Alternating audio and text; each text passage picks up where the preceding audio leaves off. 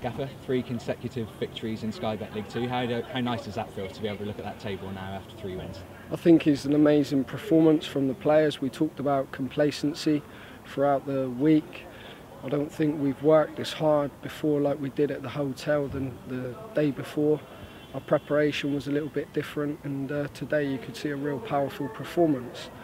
I thought tactically the way the, the lads managed the game, we frustrated their players, frustrated the supporters. Having said that, they had one or two chances where on another day for them it could you know we could have it could have went in but the team's very strong it's very resilient and uh, I think these 1-0 wins are no fluke.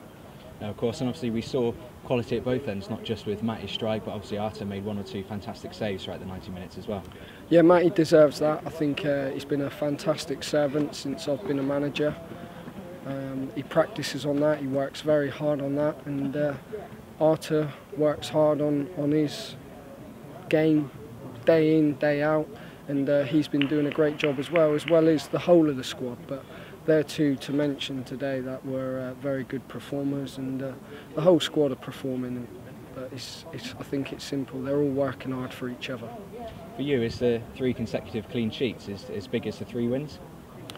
I think it is, but having said that, the way the players work the system, it's well drilled, it's well organised. Uh, it's a good system that works, and uh, I don't know how many we had last year. I think it was nine when I took over. So uh, very organised, very pleasing performance, and uh, I think uh, I just want everyone to really believe now that that we can uh, push to that playoffs, and we'll see what happens.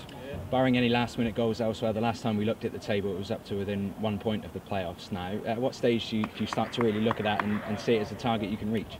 Well, I said we weren't going to win the league off last week's performance, and that's why I mentioned complacency. And we're not going to win the league uh, on this performance. But what we have got is a consistent group of players that are turning up every week and uh, putting in real good performances and getting results. And that's the main thing. Football's all about winning. As a football manager, you keep your job if you win. And uh, we're building something special at the football club, and the players are bought into that. And uh, I feel very proud at the moment to be Yeovil Town manager.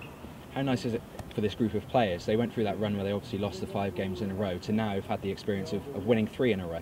We talked about being patient, talked to the supporters that I've seen face to face and I think you could see there the, the celebrations at the end, the way they sung throughout the game. They've had a great time. Uh, they've been very supportive to all of the players, very supportive to me as a manager. And it's so pleasing because, you know, them witnessing that today, they can start believing and they deserve it.